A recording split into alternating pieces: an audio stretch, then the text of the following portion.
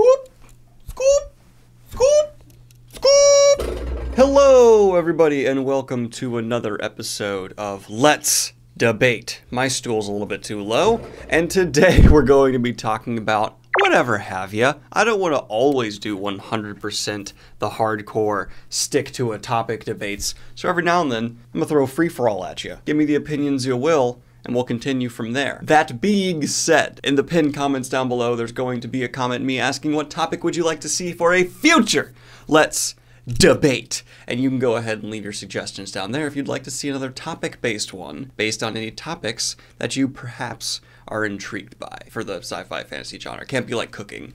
Maybe cooking. I don't know. Do you want this to be a cooking channel? I'll make it a cooking channel. Apparently, something called mukbangs are a thing on YouTube now. I don't. I don't know what that is, but it scares me. And of course, now I have the scariest microphone holder of all microphone holders, a lightsaber. Oh, I better be careful. I could accidentally get laser in the face.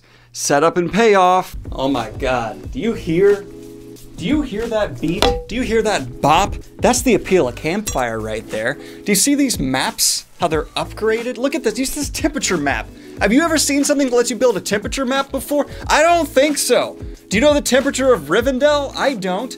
Campfire just rolled out Campfire Blaze. It's currently in an open free beta, meaning you, the user, go check out Campfire, check out all these features in their polished new state, and then guess what? You don't even have to pay for the whole thing anymore. You can figure out which features you like during this open beta and modularly pay for just them. Ka-kablam! Build a fantasy world through characters, religions, maps, what have you, put it all together, and only pay for what you're gonna use. So if you're one of these people who was like, I don't wanna do that one big time payment, skablammy, you can now break it up and just have the service exactly as you want it. Campfire Blaze is like the ultimate bro for me on the channel. They help keep your disheveled goblin fed. So why not check out the tool? Well, it's free to do so in that link right down there. Daniel out. I don't, there's no other way I can sell this to you. It's that's it's I don't know what else to say. I'm done. I'm, I'm walking. Despite their best efforts, Daniel slash the fandom are getting way ahead of themselves with the WoT on Prime hype. Talk of 7 to 10 seasons, desire slash recommended changes for books deep into the series are silly at this point. Step one is to nail the first season, and first, well, we can't speculate. That's entirely what it is. We're just talking about what we hope and that's that's all this is. It's not like we're saying like they have to do this and it's going to happen. Our are fans not allowed to talk among themselves about, oh, if things go well, here's what we'd like to see? There is no promise we will get more than that. Yeah, no one said there was. Also, we need to be prepped for sweeping changes for the first novel, not just changes for things way down the line. Okay, well, if now you feel like you're getting ahead of yourself. We need to get prepared for a trailer. We can't talk about the first season until we get the trailer. Like, this is what you're sounding like. People are allowed to have fun. Let them have fun. That's that's what we're doing. With that said, I hope I'm wrong. You're not right or wrong about anything, because all you're doing is telling people not to speculate. Why would what the? F- Yo, I wonder if they're gonna keep like the Ebou Dar architecture. How could you bring that up right now? Because I what? I don't know. I was just trying to have a conversation. It a You're fun taking the energy. Like, the energy for season how- one. you- This what- is what are limited you even resource. talking There's about? not going to be enough energy now. What? This comment genuinely boils down to, hey, don't have fun because the things you're talking about might not happen. Why? I really want to see more crushes in fantasy or literature in general. Love is not always mutual, and people get rejected a lot, or maybe they can't even bring themselves to confess their feelings. The fact that everyone, mostly everyone, there are many books that include this, get a positive response when they love someone bothers me. Uh, it is more often than not, but I'm just gonna kind of shove this into the kind of storytelling we often see in fantasy, which is wish fulfillment, things along those lines, and an enticing happy romance is a big part of that. Though now with a lot more of the darker stuff, we are getting things that go against this. I'm gonna chalk this into personal preference and or that's often limited by the fact that authors need to tell compelling stories and a fulfilled romance with the, as I said at the beginning of this video, setup and payoff is going to be more enticing for people at large. But I will say, yeah, this is something that's going to be more realistic, and the start of a general theme to a lot of the questions I ended up picking because it has a great demonstrating point to something I want to get to overall for these Let's Debate videos. But let's Continue through. Any writer can write combat or war. What really makes a great writer is when you can make normal, boring scenes like conversations or character tangents interesting. I want to push back right away. Not everybody can write combat and war. I just want to put this out there as someone who is struggling to write combat myself. It's not as easy as you think. Writing okay combat is pretty easy. Writing good, compelling, well paced, structured, coherent combat that is going to stand out from the crowd, extremely difficult. But I get what you're saying. I, I get what you're getting at. George R. R. Martin and Herbert both wrote books where I find myself looking forward to the scheming, arguing, exposition, and philosophizing. A Song of Ice and Fire or Dune are my favorite book series because of this. I think that is a very large part of their appeal is how well they do this, and there are many other authors who do it really well as well. Um, I think what you're kind of trying to get to is general advice of like make sure that even in your scenes where quote unquote nothing is happening there's subtext there's character things there's world things there's some there's still a point always have a point. and if you have that in mind like martin and herbert always do with everything they ever put down uh, you will still have compelling scenes you could have someone in a bathtub reading a book but if you have underlays to that scene if you have proper setup for the reader to know there are things meta going on like frank herbert especially does masterfully then yeah.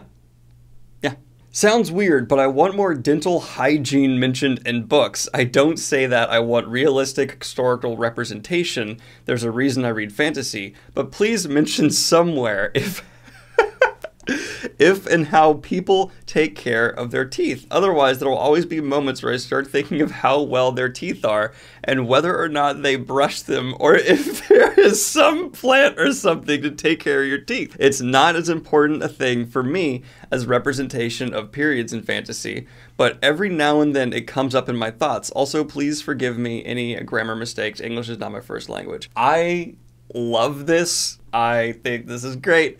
And I don't know, I'm going to put a plant so everyone chews in my book now to take care of their teeth. I don't know, this is so great. I, I have no counter, but it's hilarious. Draniel should dress up as a disheveled goblin for all fantasy news in October.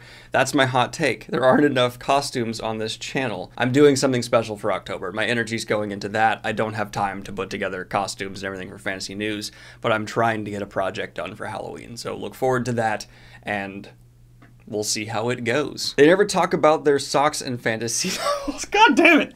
This is all leading into the theme I talked about. Like you always hear about breastplates or their crosses, but you never hear about what kind of socks they're rocking. Isn't this a big deal? Like in desert fantasies, are the characters wearing socks or not? Do they have appropriate thermal management going on in the toe region in more wintry settings? I don't know, but I feel like this is a huge oversight. so I actually literally got into this exact point in an author interview. I think it was with Mr. Weeks. Yeah. And we talked about like, hey, that's actually a really big part of outdoor survival. I was huge into hiking and camping when I was younger, and you need to bring a lot of changes of socks and make sure they're made of the right material. Wet feet can kill you if you do not properly manage them. It's not a lot of fantasy books though, and that's unrealistic. And yeah, if you're looking for it, could probably really pull you out because you're going to be like, oh, you're saying they'll go through a swampy area and no one's having any issues? Hmm?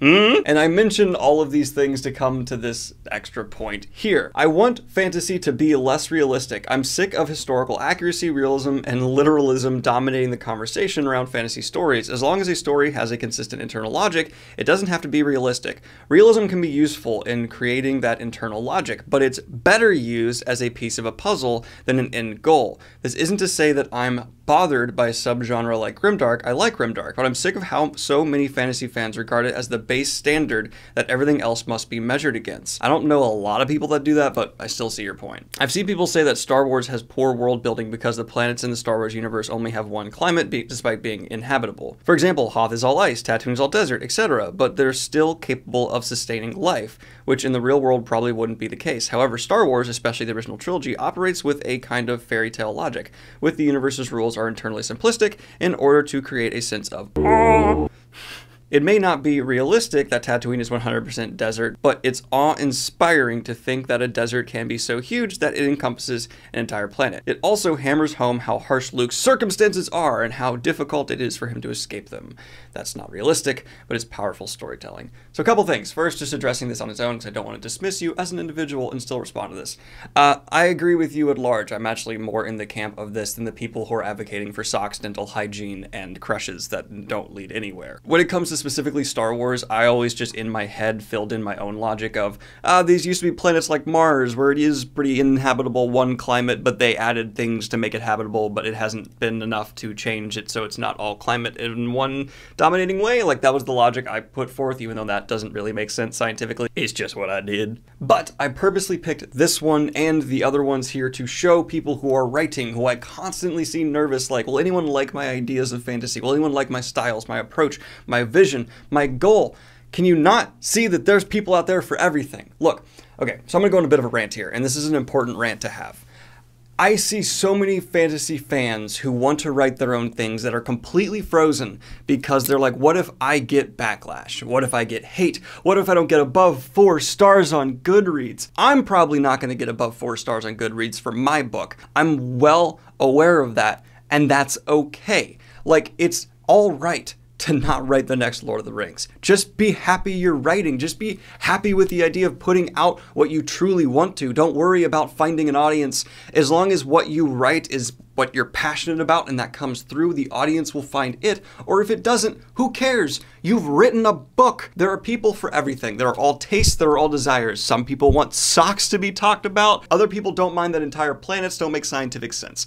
It's all right. And I just want to take a moment to remind everyone just just write because you love it. Just do that, and you'll be happier because of it. Sorry, I'll get off my soapbox now. A compelling backstory is not the same as a compelling character. Sure, it enhances what's already there, but a lot of the time, I feel like it's used as a substitute for actual character writing. Same thing goes for the over psychologicalization of main characters. Just because we can write out everything the character thinks about all the time doesn't mean you should. Letting actions of a character speak for themselves, especially if you know how his slash her slash their mind works, can go a long way, and I feel like authors often don't trust their audience enough to let them come to certain conclusions on their own. This is essentially the Erikson argument um, in some ways, and uh, I, I, agree with it. Uh, this is something that I'm actually having my mind changed on. But I want to push back in a little bit and say my personal taste is I like to dig as deep into the character's mind the author will allow me. I want them to feel like the author knew who they were a hundred thousand percent. And so I like it when we are just deep. I get the appeal the other side though and that's okay. There's allowed to be those preferential differences, and you can say, hey, one's a little bit smarter because it's blah blah blah blah blah, or you can say, hey, the other one's better built because it's more realized than the authors. And there's appeals everywhere. Um, but I do really respect this approach as well because I think there's a certain artistry to it uh, that's very distinct. I wish YA trends, dystopia, vampires, etc., cycles carried on into adult, so I could see more mature, grown-up versions of it. They do. There's a vampire adult one right there. Oh, here's a dystopian adult one right there and there's another vampire one, and there's another dystopian one. Um, maybe there's something in nuance here I'm not missing, but are you meaning like specific tropes of that? Of those YA ones? I'm not sure. Uh, this one I'm not entirely sure about, but I'd like to see people discuss in the comments because I feel like I'm missing something here. What, what am I missing? What did I get wrong? It had 101 upvotes, so I feel like I really missed something. I love when the characters are just sitting around doing absolutely nothing. It makes them humanized you and me, to you and me, I believe you were trying to go for there. And I'm a big character reader, so I love when they're just hanging out and I get to see their personalities more. This is something that it kind of depends on what you're writing, but in, in large scope of things, I agree with you. This is one of those things where it definitely sounds nice to say, but I'm also going to connect it to the previous comment here and say saying the characters just hang around doing nothing isn't the proper way to put this in my mind. I'm being a nitpicky asshole. Let me be that. I think the proper way to phrase this is having the characters just interact while not pursuing their main goal, but allowing the subtext that's been built up within their relationships to pay off. Because I really doubt you want to watch your character waking up in the morning, brushing their teeth, combing their hair, not even thinking about the main quest, and maybe using their like bedpan. That's not the most interesting thing to follow, but having them just hang out, the relationships that have been established, explored, or developed in some way, just having some good payoff with things along those lines, I agree with. But I feel like it's just a little bit of a slippery slope, dangerous field to go into to say, like, oh, just hanging out's fine. Because even if my favorite characters of all time from various series got together and started talking, if there was no substance, there was no greater, okay, what are they talking about? Narratively, it would be kind of boring rather quickly. I think a lot of people are going, no, that'd be great. I, I, I don't actually don't think you'd like it as much as you think because you're probably imagining it with some oh real subtleties and things built in and a greater arc and an author who's going to have like setup and payoff within just this conversation but i wouldn't call that just hanging off but i wouldn't call that just hanging out that's character development that's relationship fleshing out that's realizing certain things like just hanging out to me has a lot of baggage as a label we need more Green Daniel and Pips in this channel. They get almost no screen time, and Daniel Greene should bring back some segments like exploring fantasy worlds and battles. Hmm, I don't know who this Green Daniel is. He sounds like he's dead. And Pips was in the last couple videos, so I think I've, I've satisfied this now. Bring back segments like exploring fantasy worlds and battles. Yeah, there's stuff like that coming, I promise. I know I haven't gotten back to some of my roots on the channel in quite some time, but that's just because I'm having a fun time experimenting while simultaneously finding a relaxing formula that I can fall back on, like these videos, to ease up the pressure and stress on myself. Uh, I've had a lot of realizations recently about just how hard I was grinding for so many years for this channel. And it's been very good for my mental health to take the foot off the gas and kind of be like, oh, I can work maybe only a little bit, okay, still substantially more than regular 9 to 5 hours, but give myself enough time to have a real life and work on my friendships and relationships and my side projects that are not related to this channel. So it's been very good to do that, and those bigger, harder videos are a little antithetical, though there is a very big, highly requested one in the works now with a collab that I'm so excited about, one of my favorite collabs ever. So, uh, just wait and see. Mistborn Era 2 is more enjoyable than Era 1, since it has this layback attitude. Nothing about killing God, just two good guys beating the bad guys. In the same note, Wax and Wayne are just a lot more fun to read than Vin and Kelsier. I'm not saying they're better, but they are definitely funnier. Okay, so I'm going to push back in an interesting way. I'm not going to do the typical thing where I'm just going to go, oh, it's down to personal preference. I'm going to take on a more aggressive attitude and um, prove you wrong with my facts about your feelings. ah! So the idea that Wax and Wayne are more like relaxed as characters and therefore they're funnier and better is uh, okay. You can have that preference, whatever. That's fine. But what about the whole party? I would say collectively, Era One has everything you could get from Wax and Wayne, but distributed among a wider cast of characters who are all the more enjoyable because we have these greater relationship webs that Sanderson did such a good job of fleshing out. And in terms of like, well, the stakes are lower, that way I enjoy it more. Why do you like lower stakes? That's not that's not like actually human psychology. Humans are more compelled by high stakes. That's just a fact. It's a fact. Nothing else can be true in any way, shape, or form. Why is a nuclear bomb under a table more compelling than like I don't know a razor blade? Because it's stakes. Also, because it'd probably be kind of strange, like how you guys not know there's a nuke under the table. It's it's pretty big. It's, it's, it's a giant nuke. It takes up a lot of space. And just saying that Wax and Maine are more fun to read than Vin and Kelsier. Are you? I can't even like make a joke about that. Like that's just such a subjective thing. It's like I, what do I what do I even push at? Like Vin's more fun because she puts her head through another person's head, and um, that uh, equals giggle times. I don't know what even say here. yeah, I would say, I actually, as somebody who prefers Vin and Kelsier, would agree that Wax and Wayne are more fun. And on that goofy, well, note, I'm gonna go ahead and wrap this one up. Thank you guys for tuning in for another episode of Let's Debate and letting me get on my soapbox for a minute there and uh, discuss. I don't know, we got into a lot here. I feel like there was just an interesting smorgasbord. And as I said, it's for setup and payoff, I will now just play with this lightsaber. Oh no, what happens if I flip this switch? Oh, damn it.